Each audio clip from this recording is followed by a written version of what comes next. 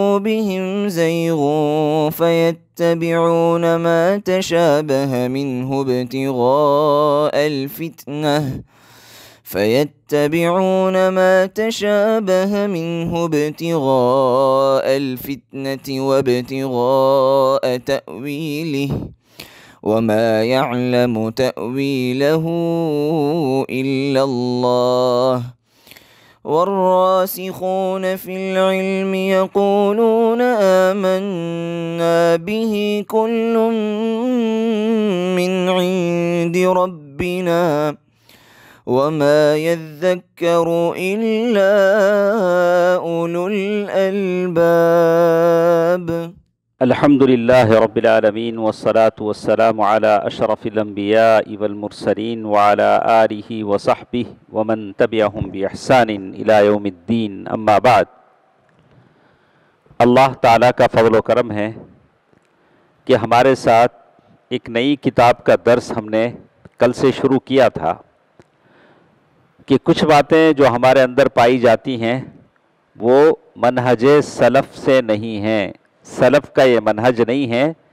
लोग उसे कहते हैं या कहते हैं जो गलत है। तो मैंने आपसे कहा था कि उसे आप लिखें ताकि आपके लिए ये मुआविन साबित हो। तो दो आदमी तो लिख रहे हैं। हाँ क्या शायद भाई? आप एक मरतबा सुन लें कि कल क्या क्या बातें हमारे साथ हुई थी। तो मनहज सलफ़, इस दोनों की तारीफ़ कल के दर्स में हमने सुना था। उसके बाद हमारे साथ बात थी लई समी मनहज सलफ़ अलमलु कबल इल्म मनहज सलफ़ ये है कि आदमी पहले इल्म हासिल करे, बाद में अमल करे। जाहिलों की तरह अमल हमारे पास नहीं है। और उसके लिए सूरत मोहम्मद आयत नंबर उन्नीस का हवाला हमने दिया फ़ालम अन्नला इला वस्तफ़िरदम्बिका वलमिन वलमिनत इसमें बताया गया कि पहले इल्म हासिल करो, जिससे हम, कुछ लोग हैं, आपको अल्लाह ने तोफ़ी दी, इल्म सीखने का, सिखाने का। कुछ लोग जाहिल हैं, नादान हैं, सीखते नहीं हैं और अमल करने के ख्वाहिशमंद हैं।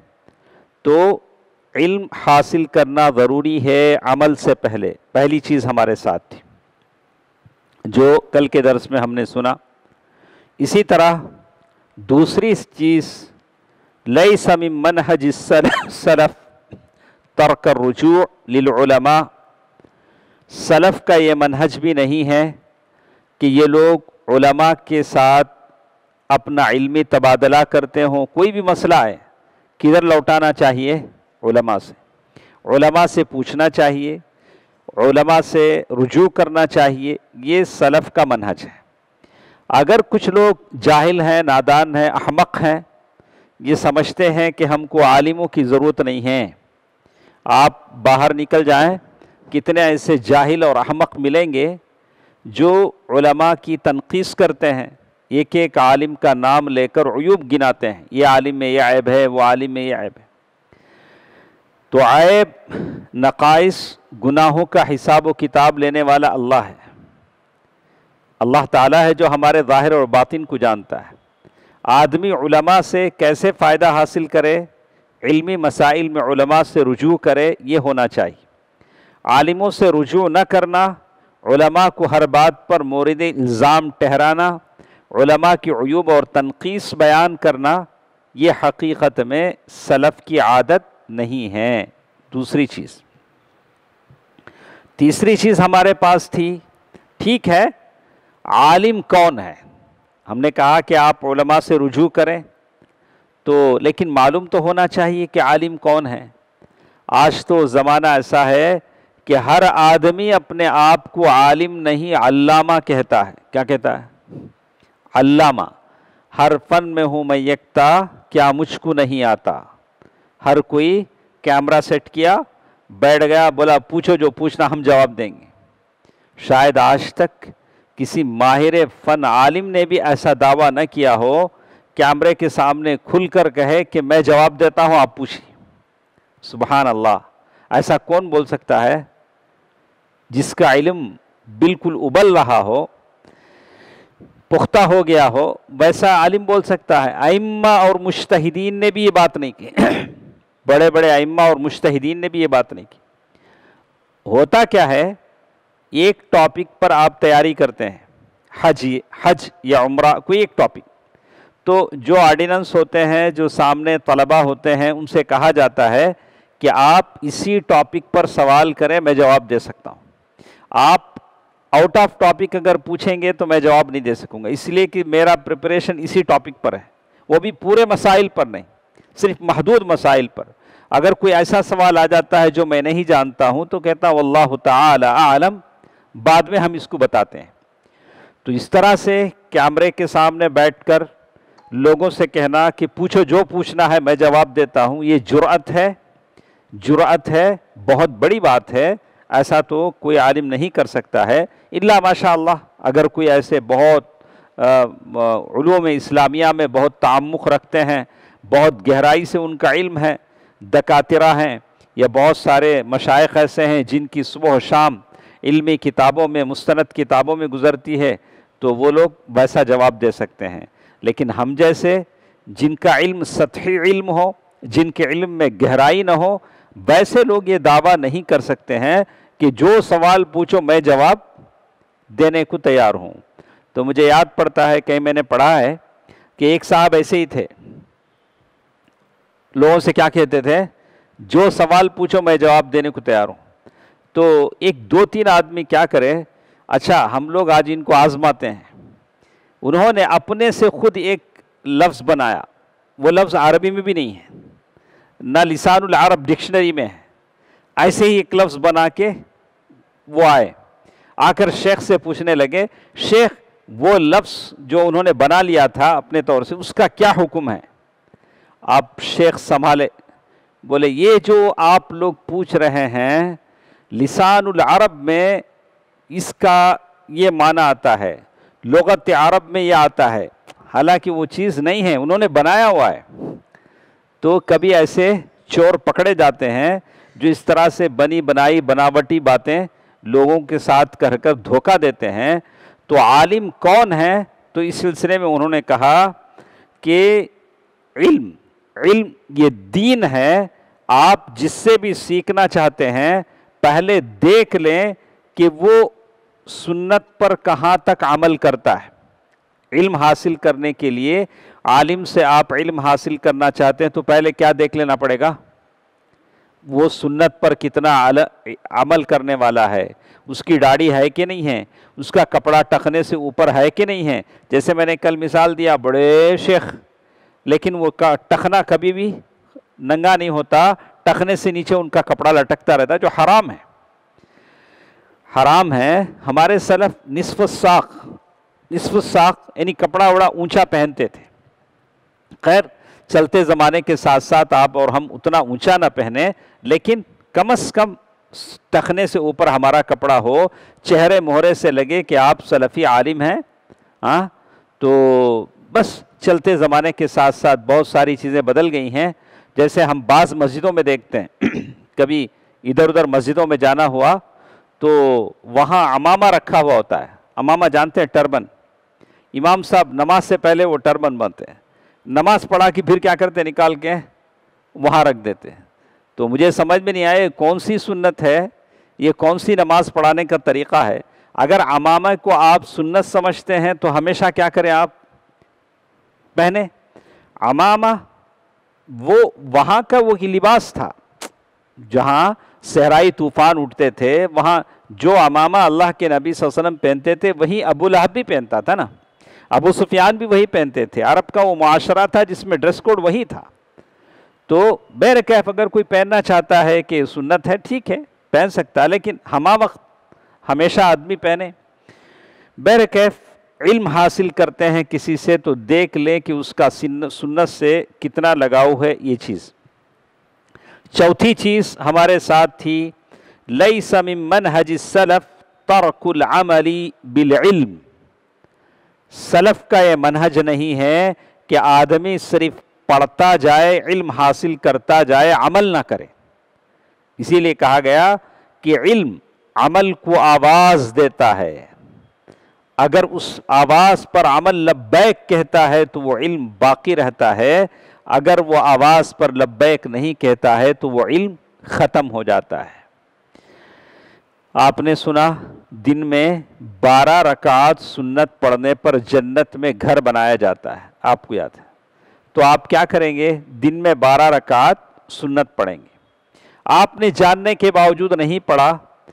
कुछ दिनों के बाद आपसे पूछा जाए तो आप भूल जाएँगे। अमल नहीं था, इसलिए आप इल्म को क्या कर दिए? भूल गए। ऐसा ही इल्म हमसे क्या होता है? भुला दिया जाता है। तो इसीलिए कहते हैं अमल इल्म पर इल्म पर अमल न करना भी सलफ का मनहज नहीं है। आप अमल करें। अमल ही से आपके इल्म में बरकत होती है। अल्लाह ताला आपको मुझे इल्म देते हैं। नंबर पाँच तोहीद से लापरवाही नहीं होनी चाहिए। हम सलफ़ी लोगों की दावत असल लब्बे लुबाब तोहीद है। इसलिए हम लोग ज़्यादा किस पर बात करते हैं? तोहीद पर बात करते हैं। अल्लाह के नबी सल्लल्लाहु अलैहि वसल्लम मक्के मुकर्रमा की जो ज़िंदगी थी, उस सारे ज़िंदगी में, कभी बाज़ार उकाद में, कभी बाज़ार दुलमजन्ना में, अल्लाह के नबी वसल्लम जहाँ चंद हाजी बैठे रहते थे वहाँ जाकर अल्लाह के नबी सल्लल्लाहु अलैहि वसल्लम यही कहते, कुलू अरब वल अजम। लोगो, ला इलाह कह लो अरब अजम के मालिक हो जाओगे। तो जब तक अल्लाह के नबी वसल्लम मक्के में रहे, ला इल्लल्लाह तौहीद की आबियारी करते रहे। तो इसीलिए आप देखेंगे कि हमारी मस्जिदों में, हमारे मजलिसों में तोहहीद पर ज़्यादा बात होती है। जबकि दूसरे मसालिक और मजाहिब के लोग इस पर बात नहीं करते। अभी तो रमज़ान का मौका भी आता है तो लोग कहते हैं कि सहाबा के क़स्से बयान करो, बुज़ुर्गों के किस्से बयान करो कुरान बयान करो। लेकिन तोहहीद सुनने से कतराते हैं, बोलते हैं कि तोहहीद से इख्तलाफ पैदा होता है। अगर तोहीद न होती तो कोई चीज़ नहीं होती। अगर तोहीद की बात नहीं होती तो मक्के में जो बुत, लात, मनात, उज़्ज़ा, हुबुल जो पूजे जाते थे, उसी के लिए काफिरों ने कहा कि ऐसा करो, तुम हमारे बुतों को पूछ लो, हम तुम्हारे अल्लाह को मान लेते हैं। तो असल चीज़ हमारे पास क्या है तो शकीब, तोहीद। तोहीद असल चीज़ है, तोहीद में भी तोहीद उलूहिया। अल्लाह ताला की ज़ात के साथ, उसके असमा में, उसकी ज़ात में किसी को शरीक न किया जाए। अल्लाह के जो नाम हैं, जो सिफात हैं, वो अल्लाह के लिए ख़ास है। देखिए तो उसके बाद एक और चीज़ हमारे पास, छठवीं चीज़ है, अल्लाह के, अल्लाह ताला के बाद किसका मुकाम है? शाहिद भाई, रसूलुल्लाह वसल्लम का मुकाम है। अल्लाह के नबी वसल्लम ने फरमाया, अना सैद उलिद आदम वाला फ़खर। मैं आदम के बेटों का सरदार हूँ, इसमें कोई फ़खर की बात नहीं। तो अल्लाह के नबी वसल्लम की शान अपनी जगह है, लेकिन अल्लाह के नबी वसल्लम की शान में गुलू नहीं करना चाहिए। अल्लाह का जो मकाम है, वो मकाम अल्लाह के नबी वसल्लम को नहीं देना चाहिए। रसूलुल्लाह वसल्लम की ताज़ीम में अगर गुलू होता है तो ये शिरक है। अल्लाह का जो मकाम है हमने अल्लाह के नबी वसल्लम को दे दिया जो गलत है। इसी तरह नंबर सात बिदात खुराफात से मनहज सलफ़ पर अमल करने वाले दूर रहते हैं। जैसे भी किस्म की बिदात हो, आज तरह तरह की किस्म की बिदातें आ गई हैं। इबादात में बिदात है, आदात में, अतवार में, तरीक़े में और कई तरह की बिदातें हैं जो अल्लाह के नबी वसल्लम ने न बतलाया है, न किया है। मनहज सनफ़ ये है कि आप इत्तिबा करें, बिदातों से दूर रहें। बिदात बोले तो दीन में तवाब की नीयत से कोई भी नया काम ईजाद कर लेना बिदात है। जैसे रमज़ान के आने से पहले, चाँद देखने से पहले एक एहतियाती रोज़ा रख लेते हैं। नहीं, एहतियाती रोज़ा बोले तो चाँद दिखा नहीं। कहीं दिख गया क्या कि? अब ऐसे ही जो लोग हज पर गए, वहाँ बहुत सारे मौलवी लोग हैं, वो हाजियों को वरगलाते हैं, देखो, इतना पैसा खर्च करके आप हज पर आए, कहीं आपसे चूक हो गई रहेंगी, ऐसा करो, एक बकरा क्या करो, दम दे दो। एक बकरा अल्लाह के रास्ते में ज़बाह कर दो छोटी मोटी मिस्टेक है तो क्या हो जाएँगे? सही नहीं। है जो चीज़ नहीं है शरीयत में, आप उसे क्यों लागू कर रहे हैं? क्यों एहतियात के तौर पर कहा कि जब आपको पता है कि आपसे कोई गलती नहीं हुई है तो आप क्यों उसे ये कर रहे हैं? तो इस तरह की बहुत सारी चीज़ें हैं कि जिसमें कहते हैं कि ये सारी बिदातें हैं और मनहज सलफ़ में जो लोग हैं, वो लोग क्या करेंगे? इत्तिबा करेंगे। अल्लाह और उसके रसूल को फॉलो करेंगे और दीन में कोई बिदात ईजाद नहीं करेंगे। आठवीं चीज़ जिसके बारे में हमने सुना कल आखिरी चीज़ हमारे साथ थी। लई समिम मनहज सलफ़ अल अहतमाम बिलूमिलक़लियतलबहता ये भी मनहज सलफ़ नहीं है कि सिर्फ़ अकली ूम को लेकर चलें। यानी मेरी अक़ल ये कहती है, ये हदीस सही नहीं मालूम होती है। जादू वाली हदीस गलत मालूम होती है, इसलिए कि अक़ल में नहीं आती है। तुम्हारी अक़ल, शायद उस अक़ल को इसलाह की ज़रूरत है। हम तो बस ये कहते हैं, काल अल्लाह व रसूल अल्लाह और उसके रसूल की बात पर हमारा ईमान होता है, हम अक़ल को दीन में दखल नहीं देते हैं। हम नहीं कहते कि हमारी अक़ल ये कहती है। तो मनहज सलफ़ ये है कि जब भी अल्लाह और उसके रसूल की बात आए तो कहें, आमन्ना वसद्दकन हम मान लिए, भले हमारी अकल में आए, ना आए। बहुत सारी चीज़ें हैं जो हमारे अकल में नहीं आती। इसी तरह, एक और बात जो हमारे साथ है, जो शायद ये बात थी जो हमारे साथ आखिरी बात थी, नवी बात लई समिम मनहज सरफ अल अख्तसार अलकिताब वसन्ना मनहज सलफ़ कुरान और हदीस को लेकर चलते हैं। लेकिन साथ साथ सहाब कराम ने जैसे कुरान और हदीस को समझा, वैसे हम समझते हैं। ये ज़रूरी बात है। आप अब नए तरीके से बोले कि कुरान और हदीस जैसे हमारी समझ में आया, हम वैसे चलेंगे। नहीं नहीं। कुरान और हदीस को सहाब कराम ने जैसे समझा, वैसे आप समझेंगे। जैसे अल्लाह के नबी वसल्लम ने हदीस में फरमाया मा अना अलैहि व अल्लाह के नबी वसल्लम ने साहब इकराम को भी शामिल किया और सूरत आयत नंबर 115 जिसमें अल्लाह ताला ने कह दिया वमन युशाक़िक़ रसूल मिन बाद मा तबय्यन लहुल हुदा वयत नत्तबिअ गैर सबीलिल मुमिनीन नुवल्लिहि मा तवल्ला व नुस्लिहि जहन्नम वसाअत मसीरा सूरतुन्निसा आयत नंबर 115 तो हमारे लिए जो राह हिदायत है, एक अल्लाह की किताब है और अल्लाह के नबी वसल्लम की सुन्नत है। और कुरान और हदीत को हम वैसे समझेंगे जैसे साहब इकराम ने समझा है। ठीक है, यहाँ से कुछ नई बातें हमारे साथ हैं। अल्लाह के नबी वसल्लम की बहुत सारी हदीतें आपके सामने आती हैं, नहीं? बहुत सारी हदीतें हम पढ़ते हैं। लेकिन आप अगर आ, किसी हदीत को लेकर ये कहें कि ये हदीस हमारे समझ में नहीं आती है क्या बोले? ये हदीस की बातें हमारे समझ में नहीं आती हैं। अगर आप इस तरह की बात कहते हैं कि जादू की जो हदीस है हमारे अक़ल में नहीं आती जादू वाली हदीस हमारे अक़ल में नहीं आती है कि अल्लाह के नबी सल्लल्लाहु अलैहि वसल्लम पर कैसे जादू हो सकता है? अगर कोई आदमी कहे, भाई, हमारे समझ में नहीं बात आती है कि अल्लाह के नबी सल्लल्लाहु अलैहि वसल्लम पर कैसे जादू हो सकता है, कैसे हम इसे मान सकते हैं? ये देखिए, बहुत सारी ऐसी बातें हैं। पहली बात तो ये हमने कह दिया है कि बहुत सारे लोग ये दावा करते हैं कि हदीस हो सकता है सही हो लेकिन हमारी अकल में इस हमारी अकल इसको मानने के लिए तैयार नहीं है। जैसे आ, कोई आदमी एक बात कहता है कि आप ये मान सकते हैं क्या नाम आपका? शाहिद बेग आप आपसे अगर कोई पूछे क्या आप ये मान सकते हैं कि रात के मुख्तसर हिस्से में काबितुल्लाह से निकलकर बैतुल मकदिस तक अल्लाह के नबी वसल्लम जाएँ फिर वहाँ से वापस आ जाएँ। सिर्फ़ रात के एक हिस्से में जहाँ जाने के लिए महीने लग जाते हैं, जहाँ जाने के लिए महीने लग जाते हैं, एक रात में जाएँ और आ जाएँ।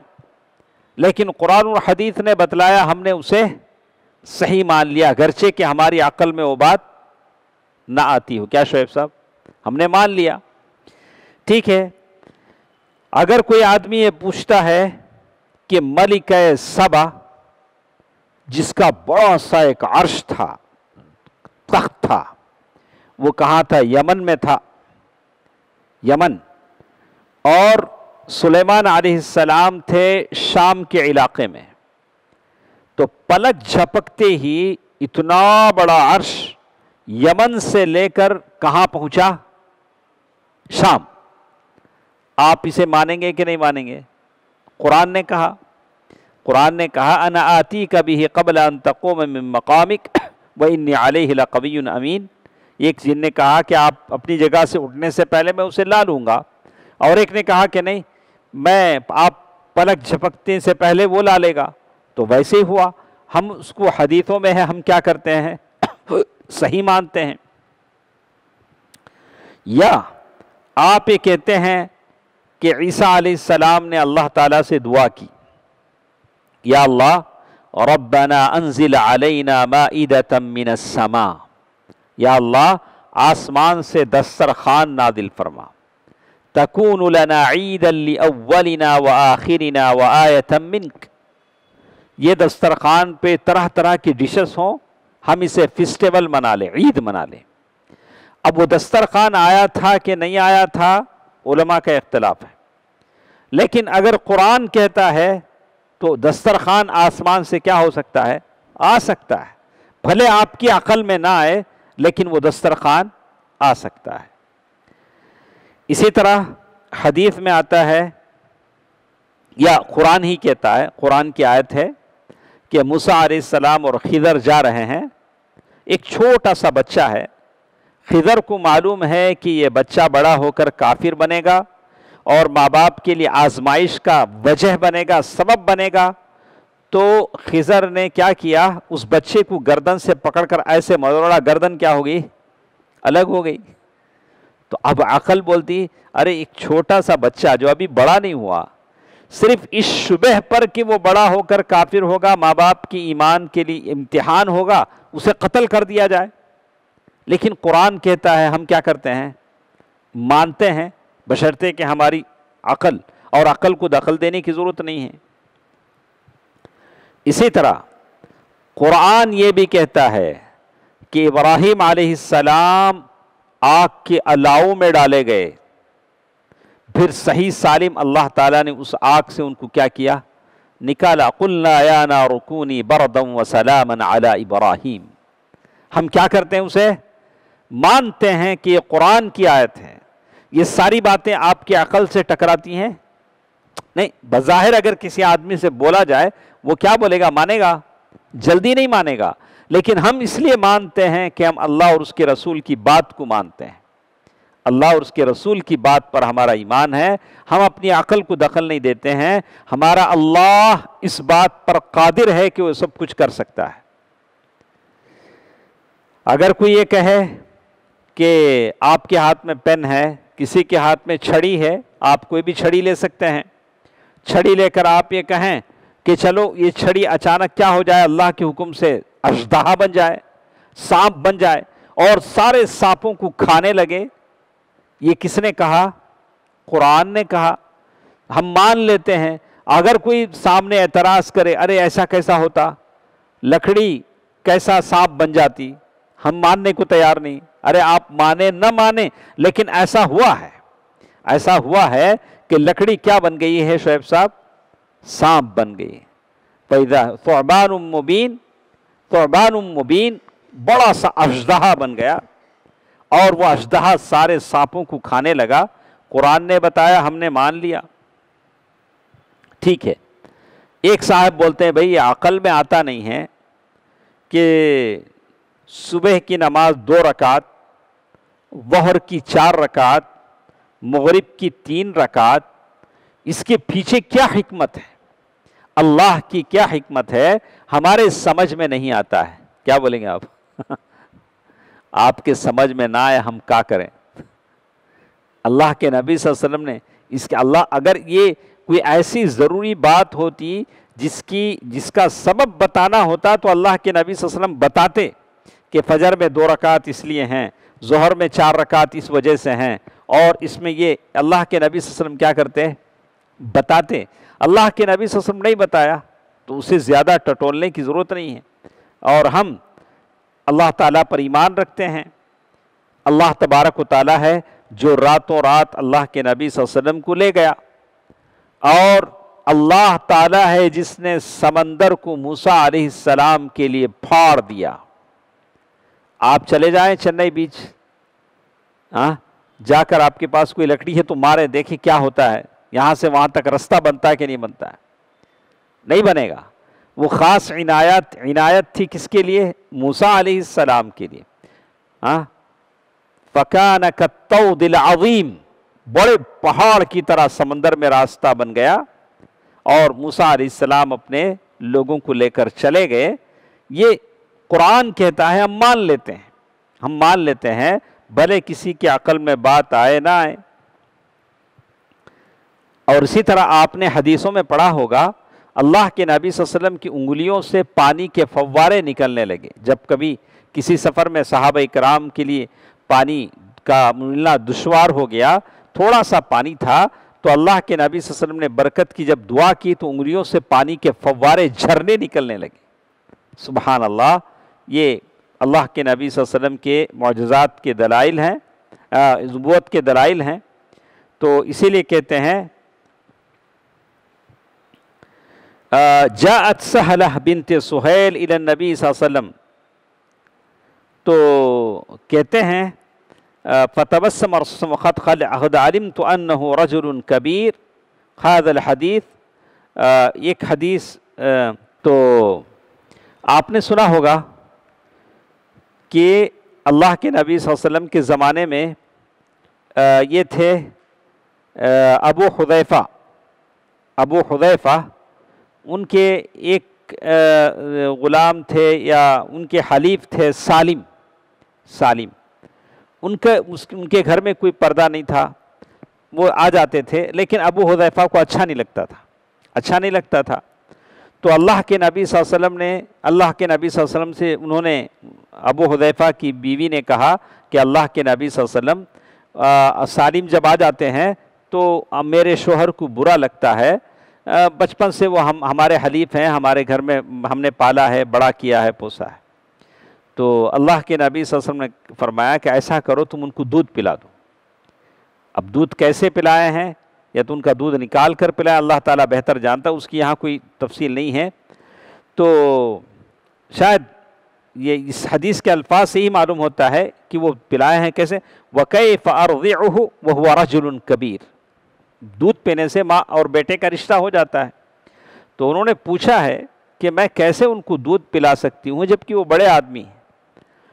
फ़तबसम रसूल अलैहि वसल्लम, अल्लाह के नबी वसल्लम मुस्कुरा दिए। मुस्कुरा कर फरमाया, कद आलिम तो रजुल कबीर। मुझे भी मालूम है कि वो बड़ी उम्र के हैं। तो ये इमाम मुस्लिम ने इस हदीस को रिवायत किया है। इमाम मुस्लिम की रिवायत है। तो इस हदीस के बारे में ये जो अकलानियन हैं, वो लोग तान करते हैं। कहते हैं इमरा अंतुर आरजुलन कबीर। अरे, ये कैसे हो सकता है कि एक औरत एक बड़े आदमी को दूध पिलाए और वो रवात उसे हरमत साबित हो जाए? इसे अकल मानने को तैयार नहीं है। वो लोग उसे उस हदीस का मज़ाक करते हैं। तो उसका जवाब देते हुए कहते हैं हादल हदीस हालतन फ़र्दी या ख़ासा। ये हदीस ख़ास है किसके लिए? अबू सालिम के लिए, अबू हुदैफ़ा सालिम। बिसालिम वसहला जऊजत अबी हुदैफ़ा। अबू हुदैफा की जो बीवी थी, उनका नाम क्या था? सहला क्या नाम था सहला लिदालिक लम यकुल बिही अहदुम मिन सहाबा उस वक्त के जो सहाबा थे या उमिन आयशा रदी अल्लाह तहा किसी ने इस पर एतराज़ नहीं किया आज के लोगों को एतराज़ है उस वक्त के सहाबा ने क्या नहीं किया एतराज़ नहीं किया तो बहरहाल एक लंबी गुफ्तगु है जिसके बारे में कहते हैं बहुत सारी बातें हैं जो हमारे समझ में नहीं आती हैं, लेकिन हम लोग यकीन करते हैं इसलिए कि ये बात अल्लाह और उसके रसूल की है। तो दसवीं चीज़ हमारे साथ थी लई समिमन हज सलफ़ रद्दुल हदीस इदालम तबलुगुल आपके अकल में कोई बात समझ में नहीं आती है, कोई हदीस समझ में नहीं आती है तो आप उसे रद्द मत कीजिए। बोले कि नहीं, ये हदीस नहीं है। ये समझ में नहीं आती। ऐसे बहुत सारी हदीसें हैं। जादू की हदीस है जिसे लोगों ने इनकार कर दिया, बोला कि नहीं, हमारे समझ में नहीं आता है। और बहुत सारी मिसालें मैंने आपके सामने बताई, आपको याद होगा। इसी तरह नंबर ग्यारह लई समिमन हज सलफ अदूल फिल कलाम वल जिदाल वल मुनावरात। मनहज सलफ ये भी नहीं है कि बार बार लोगों से क्या बोलते हैं उसे? आ डिबेट हाँ अब हमारे लोगों में ख़ास साहेब डिबेट होते हैं। कब देखे तो उन्होंने डिबेट में बैठे रहते हैं? हाँ तो ये उनके पास क्या इल्म है, अल्लाह ताला बेहतर जानता है। सही नहीं है। असल हमारे पास मतलूब क्या है? अतफ़ुफ़ीन आप दीन में गहराई हासिल करें। दीन में तामुक हासिल करें। हमेशा जिससे देखे उसे पकड़ लिए, पकड़ के बोले, आओ, हमें क्या करते हैं? मुनाजरा करते हैं, हमें बैठ को मुनाजरा करेंगे, डिबेट करेंगे। ये नहीं है, ये मन, सलफ़ का मनहज नहीं है। तो बहुत सारे लोग हैं जो इसी से मशहूर हुए, डिबेट करते करते, किसी के पास इल्म था, किसी के पास इल्म नहीं था। तो अगर इल्म वाला डिबेट करता है तो कोई बात नहीं है, अच्छी चीज़ है। अगर बग़ैर इल्म के अगर कोई डिबेट करता है तो अपने दीन को जलील करेगा, अपने दीन का मज़ाक बनाएगा। जैसे लई समिमन हज सलफ़ अदखूल फ़िल कलाम वलजिदाल वलमुनादरात बल यस्तफ़रिगून वसअहुम बल यस्तफ़रिगून उसअहुम फ़िल किताब वसुन्ना आप क्या करें? किताब सुन्नत का इल्म हासिल करें।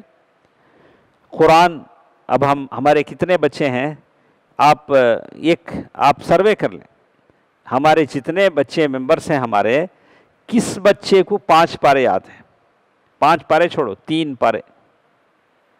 किसी भी हमारे मेंबर को तीन पारे याद है क्या?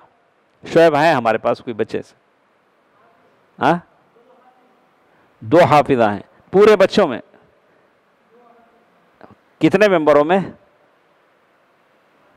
तो हम लोग ये चाहते हैं कि हर मेंबर को कम से कम कितना याद हो? तीन पारे तो याद हो। हर मेंबर की बात। मैं एक दो की बात नहीं कर रहा हूँ। कि हर मेंबर को तो याद हो, अल्लाह ताला का इल्म याद हो। कम से कम दो पारे, एक पारा, तीन पारे। कम से कम इतना तो। जो अगर हाफिज हैं तो फबिहा अल्लाह ताला की बहुत बड़ी नेमत है। ये देखिए। बल यस्तफ़रीन उसाहम अच्छा अहादीस की जब बात आती है तो अरबाइन नविया। चालीस हदीसें कम अज़ कम याद हो हाँ? असमाय हुसना याद हो या अहादीस और कुरान को समझ को अच्छी तरह तर्जुमे के साथ समझें। ये छोड़कर अगर हम लोग डिबेट में लग जाएँ, लोगों से मुनादरात करने में लग जाएँ, तो हमारा ज़्यादा टाइम अपने इल्म को बढ़ाने पर दें। इल्म से दिलचस्पी हो तो ज़्यादा ईमान में तकवीत होती है। इसी तरह नंबर बारह हमारे साथ है लई समी मन हज सलफ़ अदूल फिल जिदारी माहल बातिल जो अहले बातिल हैं, जो बातिल पर चलने वाले हैं, गलत दीन पर चलने वाले हैं, हमेशा उनके साथ डिबेट करना ये हमारा काम नहीं। मालूम है कि सामने वाला गलत है, जब बैठो उसके साथ बैठ गए, बैठ के चलो, हमें तुम्हें मुनाजरा करते हैं। हमें तुमने तकरार करेंगे, बातें करेंगे, बहस करेंगे। सही नहीं। फ़िनल मुस्लिम लादीन अहवा। इसलिए कि मुसलमान अपने दीन को ऐसे लोगों के सामने पेश नहीं कर सक, करता जो अपने ख्वाहिशात की रविश पर चलते हों। तो वो लोग आपके दीन का मज़ाक बनाएँगे। आप कैसे कैसे बातें करते हैं? अभी देखिए, हम लोग कौन सी बात करते हैं? एक्सा सिविल कोर्ट की बात करते नहीं? एक्सा सिविल कोर्ट के अब जिसे देखो, नींद में से भी उठाओ, पूछो तो एक्सा सिविल कोर्ट ही बोलेगा। बहरहाल, बोलना चाहिए, हमारी शरीयत लेकिन वो है, कौन हो? खान सार। क्या नाम उसका? हाँ? खान सार ने लोग उससे पढ़ते हैं, समझते हैं कि वो ये है, पता नहीं अल्लाह क्या वो क्या है, अल्लाह बेहतर जानता है। तो वो उसका एतराज़ क्या है? आप लोग मुस्लिम पर्सनल लॉ में एक्सा सिविल कोर्ट की बात करते हैं। जो जो लॉ हैं, इस्लाम में दो तरह के लॉ लॉ हैं। एक फौजदारी जिसे हम क्रिमिनल लॉस कहते हैं। दूसरे हैं, ये शादी, निकाह, तलाक, हिबा बच्चे, बच्चों की मुतबन्ना, बेटा बना लेना ये सारे हैं विरासत के हैं, ये ये अलग लॉ है। और ये जो हैं फौजदारी जिसे हम क्रिमिनल लॉ कहते हैं तो कहते हैं आप सिर्फ़ इसकी बात करते हैं, निकाह तलाक की, उसकी बात क्यों नहीं करते? अगर उसी, उसको भी आप अपना कर लें तो क्या होगा? कोई चोरी करेंगे तो क्या करेंगे? हाथ काट दिया जाएगा। तो बोला कि हम यहाँ रहते हैं, इसलिए हम उस लॉ के मुताबिक चल नहीं सकते। और वो लॉ कौन लागू करता है? अमीर लागू करता है कहीं इस्लामी ममलकत हो वो लोग लागू कर लें तो बात अलग है। हम लोग यहाँ अकलीत में हैं, हम ऐसी चीज़ें हम नहीं कर सकते हैं। तो मेरे कैफ बातें अलग अलग हैं तो मुझे आपसे कहना यह था कि हमारे पास जितना इल्म है, उसी इल्म को लेकर हम लोगों के सामने बहस करें। हमारे पास पहले इल्म ना हो, जिससे चाहे तकरार करते बैठ गए, कहा कि ऐसा करना मनहज सलफ़ का तरीक़ा नहीं है। अगर हम ऐसा करेंगे तो अपने दीन को अहल बातिल और अहल अहवा के सामने दीन की कदर घटा देंगे इसका आदमी को लिहाज करना चाहिए। उसके बाद आ, कुछ और चीज़ें हैं। जैसे कहते हैं महकम व मामूल बह के बजाय हर आयत और हदीस से इस्तदलाल। जैसे उन्होंने कहा लई समिमन हजिसलफ़ अल इस्तदलाल बिकुल्ली आयतिन हदीस तकून अल आयत महकमतुन महकमा वल हदीस सुन्नत मुतबा कुरान में बहुत सारी आयात हैं, बहुत सारी हदीसें भी हैं।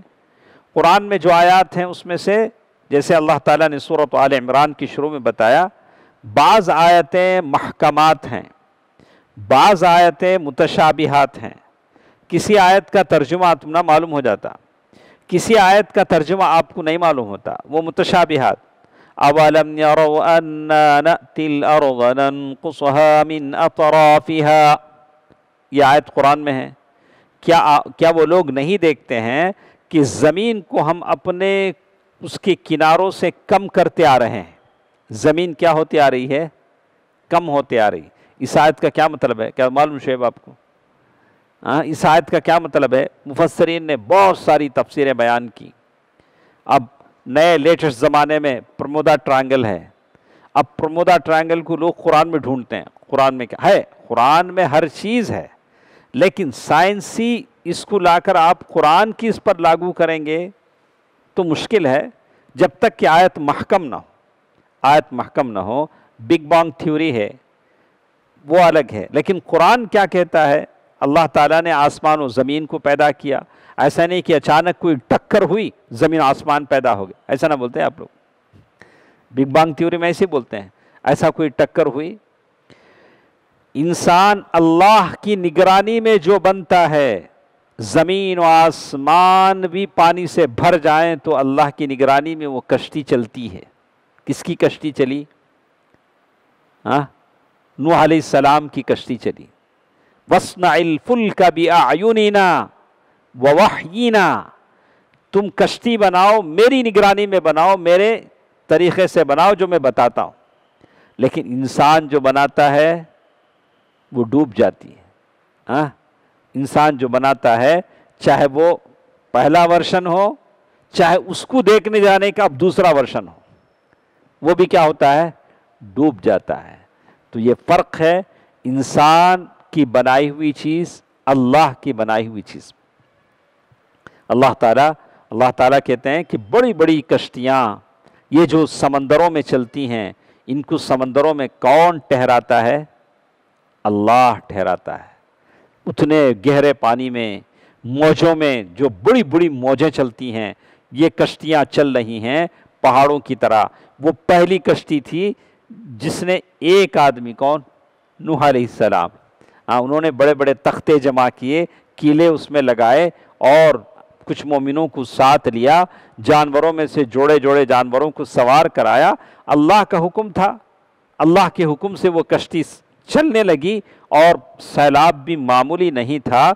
अभी जो सैलाब की वीडियोस आ रहे हैं, आप उसे देखें। शिमाली हिंद में जो सैलाब का पानी आ रहा है कैसे घरों को, कारों को कैसे बहा के ले जा रहा है, जिसकी ज़ोर के सामने कोई रुक नहीं सकता, ये अल्लाह ताला की तरफ़ से है। अल्लाह ताला की तरफ़ से है। तो आपसे मुझे बताने का ये था कि आप, सलफ़ का मनहज ये है कि किसी आयत से वो लोग इस्तदलाल करते हैं तो वह आयत महकम होना चाहिए। महकम का माना है, आयत का माना आपको बिल्कुल समझ में आ जाए। मुतशाबह जिसके माने में कन्फ्यूज़न हो रमा ने अलग अलग बातें कही हों, उससे आप इस्तदलाल नहीं कर सकते। हदीस भी बिल्कुल वैसे ही। है अगर हदीस भी महकम है तो आप उस हदीस से आप इस्तदलाल कर सकते हैं। हदीस अगर महकम नहीं है तो महकम का मतलब साफ़ साफ़ हदीस साफ़ साफ़ हो, जैसे एक हदीस आती है कि अल्लाह के नबी वसल्लम नमाज़ पढ़ा रहे हैं तो एक सहाबी जब अल्लाह के नबी रुकू में गए तो एक सहाबी दौड़ कर आए, आकर रुकू में शामिल हो गए। नमाज़ के बाद अल्लाह के नबी फरमाया कि, वाला तउद तुम्हें, तुम दोबारा उस रकात को पढ़ने की ज़रूरत नहीं, तुम्हारी रकात क्या हो गई? हो गई। अब उलमा ने अलग अलग तरीके से पढ़ा, उसको क्या पढ़ा? तुम दौड़ कर मताओ वला तादू हाँ? और पता नहीं, उलमा ने जैसे जैसे उसको पढ़ा वैसे वैसे मसाइल बनते गए। तो किसी ने कहा कि नहीं, वो रकात हो नहीं होती। किसी ने, अक्सर लोगों ने कहा कि नहीं, रकात हो जाती। जब रुकू मिल गई मन अदरकर रुकू फ़कद अदरकर रखा उसे रकात मिल जाती है बरके। तो ये बहुत सारी हदीसें ऐसी हैं जिसमें कई माने मुराद हो सकते हैं। हाँ कुछ बातें अल्लाह के नबी वसल्लम के साथ ख़ास हैं। तो शेख यही बोलते हैं कि अगर आयत से आप इस्तलाल कर रहे हैं तो आयत कौन सी होनी चाहिए? महकम। महकम के माने हैं मज़बूत, जिसे आप समझ सकें तर्जुमे के साथ। इसमें कोई कन्फ्यूज़न नहीं है। हदीस से आप इस्तलाल कर रहे हैं तो हदीस भी अपनी जगह मुतब होना चाहिए। ऐसी हदीस जिस पर लोगों का चलन है। लोग उस हदीस पर चलते हैं। नई नई चीज़ें लोगों को सुनाकर कंफ्यूज ना करें। बहुत सारी चीज़ें लोग जानते नहीं हैं। हाँ कुछ सुन्नतें हैं जिसको लोगों ने भुला दिया है। जैसे मगरिब की अजान और इकामत के बीच की सुन्नतें हैं, लोगों ने भुला दिया है तो आप लोगों को उसकी तरफ़ तवज्जो दिलाएँ। तो ऐसी कुछ सुन्नतें हैं जो लोग भूल गए हैं तो उसकी तरफ़ तवज्जो दिलाना सही है। लेकिन नई नई चीज़ें जो बहुत रेयर किस्म की हैं, उसको ये करके लोगों को क्या ना करें कंफ्यूज ना करें। बस इसको यहाँ तक रखते हैं। हमारे पास और एक चीज़ है मुफसल और मुबैन ये क्या है? कल के दर्स में हम सुनते हैं इन तो कल आपसे इसके बारे में हम सवाल भी करेंगे। थोड़ा आप पढ़ कर आइए। हाँ जो बातें हम पढ़े हैं। तो इसलिए कि इल्म है, इल्म थोड़ा सा वक्त चाहता है, मेहनत चाहता है। इल्म आदमी को तज़ीन, जीनत बख्शता है। तो इल्म आपसे कुछ मेहनत भी चाहता है। आपको थोड़ी बहुत मशक्क़त उठानी पड़ती है, तभी जाकर इल्म आता है। अल्लाह ताला मेरे और आपके इल्म में बरकत दे। अल्लाह ताला सही सुन्नत पर अमल करने की मुझे और आपको तोफ़ी दे। आमीन। अल्लाम वरहमतुल्लाहि वरकatuh